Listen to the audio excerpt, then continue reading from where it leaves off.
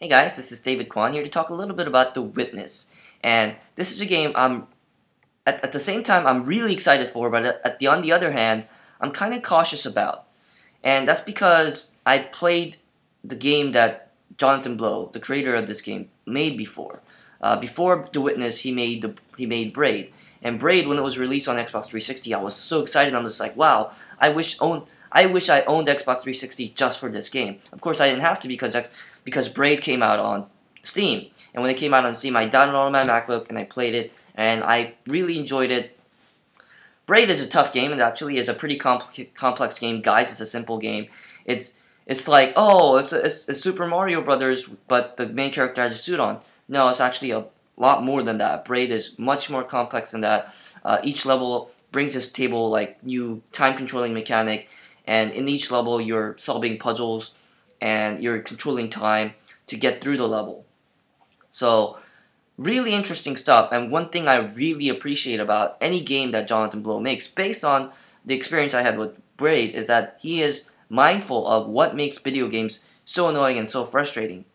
And when he makes a game, he tries to make make it so that all those elements that make such a genre uh, really annoying, he he tries to take that out and cut the fat out and make it concise, make it make each moment the experiment uh, the experience that matters the most. Make it the meaningful, impactful experience, minute to minute, second to second.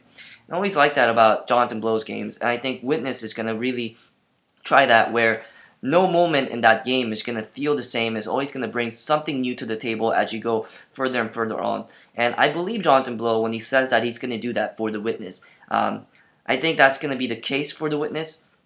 The only thing I worry about The Witness is how pretentious it's going to be because the ending of Braid was extremely pretentious. It's just like, okay, here's all these things that you could make interpretations out of, all this text, and do it, interpret it. Um, this game is brilliant. You know, it kind of had that like the the ending in particular of Braid. It was it was mind blowing, but at the same time, it's just like okay, I, I get it. You're a brilliant game maker. You really don't have to hammer that into me. Um, I get it. You cocky son of a bastard.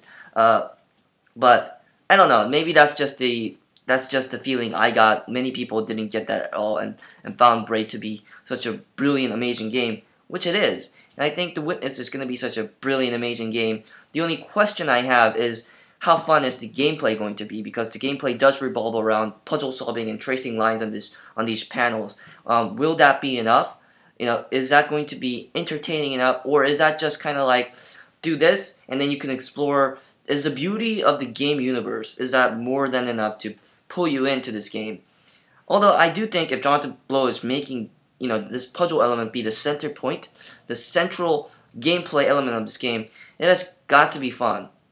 It's got to be interesting. It's got to keep you on your toes uh, throughout the experience, and that's what I'm cautious about. Although it does seem like uh, from all the press coverage on this game, it seems like it's going to be quite an amazing game. So I would have to wonder about that. It's a beautiful game. I'm surprised at how beautiful this game is because previously Jonathan Blow worked on a, a 2D game. You know, Braid is a 2D game. It has a beautiful art style. But him moving on to 3D, not only that, 3D that is on the PlayStation 4.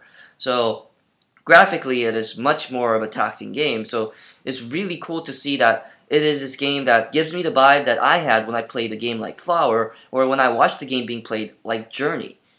Uh, it gives me that same sense of mystique and beauty about the game universe. I'm enticed. I want to learn more about it and to get really sucked into it. But I'm still at the same time, I'm a little bit cautious because I don't know if that's enough to really have me um, just loving the entire experience throughout.